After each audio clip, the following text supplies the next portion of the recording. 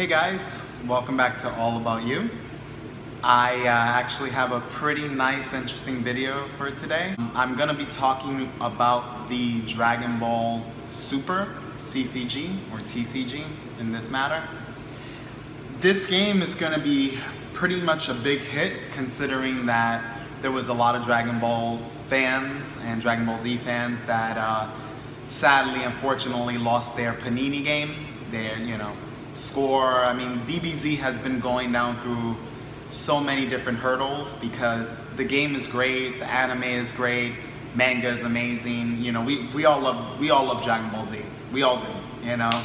And it's unfortunate that it has been an on and off stage. It's been going through many cycling periods where it's doing very well and then it kind of has like a crash and then it starts doing well again and then it crashes and it's like it's just a back and forth you know dilemma. And unfortunately you know when score originally had dbz it was cool. There was a lot of op stuff you know? And as we all know we all we love overpowered cards but it does affect the game in a negative light in many occasions. And um, and you know this just, there was just a lot of uh, overall um, improper management when it came to the game and unfortunately the company also you know was kind of a sellout at the time. But um, anywho you know Panini was able to you know pick up where they left off and came out with a bunch of really nice cards. And unfortunately they ended up passing the torch back to Bandai since Bandai is the, the king of, uh, of DBZ at the moment and now we have Super coming out, which, you know, you guys already have been seeing different updates uh, due to Aaron Hernandez and uh, his Mr. Waffles uh, YouTube channel. And uh, you guys have seen variations of other, you know, former players from this game. And now we have a completely new, polished up game created by Bandai, which so far so good. You know, there's a lot of cards that came out that um, are debatable in terms of playability and in, and also in terms of being a little overpowered. But that's fun. You know, it, it is fun when you do have um, clear-cut good cards because at least you already have an idea of what you're going to want to experiment with. And then there's a lot of other low-key cards. So you got to remember, you know, um, not everything is etched in stone and there's going to be a lot of playtesting for all of us. And I wanted to let you guys know that um, I am a former Naruto CCG player, former Bleach player and Yugi as well. I went pro in Naruto, you know, won Shonen Jumps and topped many events when the game was alive and bright. And fortunately, it's a Bandai game, and that was their, their that was their most successful game. So I'm just giving you guys a little background on what Bandai is about. You know, they, their organized play was very good for locals. So expect this for DBZ. DBZ will have good organized play, even if they're a little unsure of how they want to go about it, since it's obviously a new staff. It wasn't the same staff that you know uh, participated with Naruto.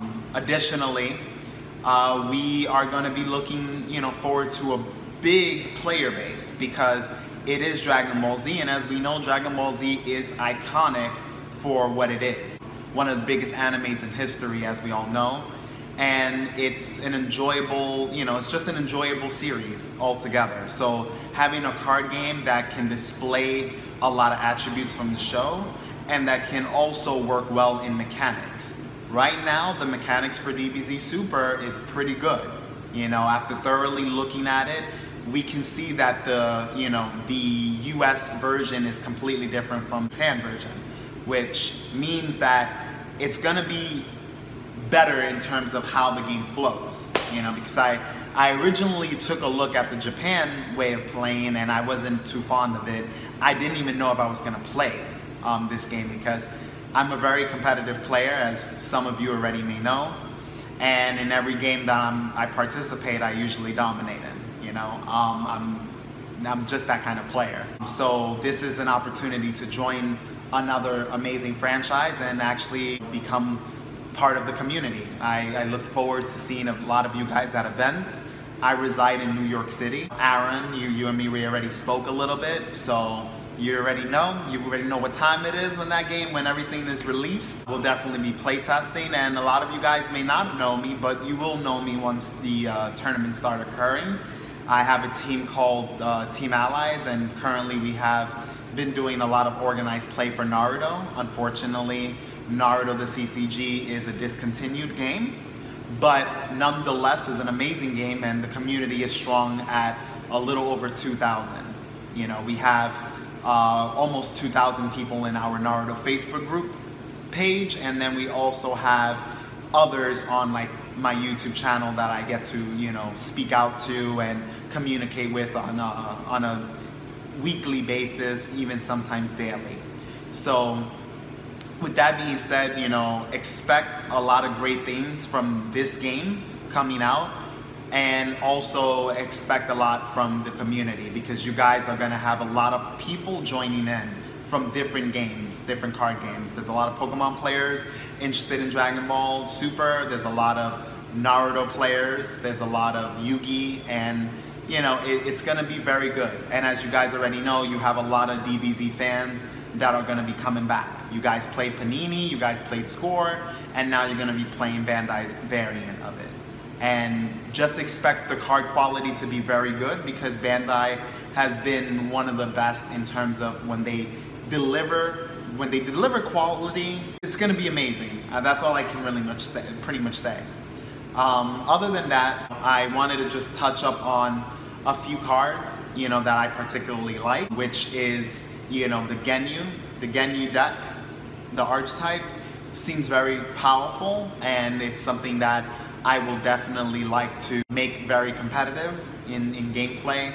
And uh, there is the red. I, I've been fond of red so far and uh, expect me as one of the players to definitely do some wrecking with that. Uh, as we all know, we have a lot of different archetypes, like we have Broly, we have Goku, Vegeta, you know, we, we, we, have, we have a lot of stuff. We have a lot of cool Guardians, um, at least that's what I would like to call them, and it's going to be very interesting, you know, nonetheless.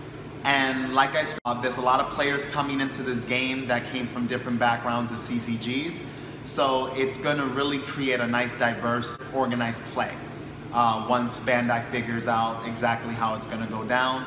And of course, as a community, we should definitely help them, you know, just like Aaron and Elsher and a few others that have already contacted them and spoken with some of the representatives. You know, that's all you guys have to do. You know, keep it going. Make sure that you're speaking out and reaching out to these player uh, people that are right now working diligently at this game and we gotta, as a community, we have to make sure that this game does well. You know, it's not just up to the company, but it's up to the players to make sure that this game is going to stay around and it's going to grow and get strong and we can expect some huge tournament outcomes from it. A lot of CCGs like Naruto when Bandai first started it, it exploded. You know, Naruto started off really strong. It started off having a few hundred players in just regular Shonen Jumps. I guess you would call them Shonen Jump equivalents. Uh, there were rankings just like in the Naruto, you know, show. So you had like Jonin and Chunin and, you know, so on and so forth.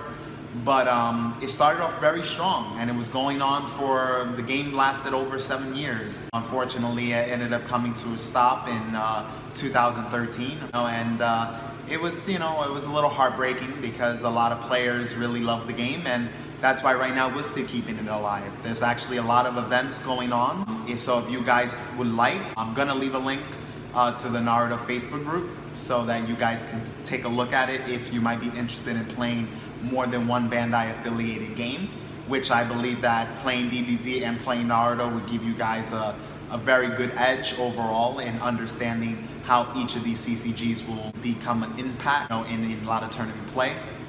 And uh, as you may know, Scott Dashie and a lot of us were actually transitioning from Naruto into DBZ. Scott Dashie has already been a DBZ player from the beginning, so he, he's been doing his, his homework.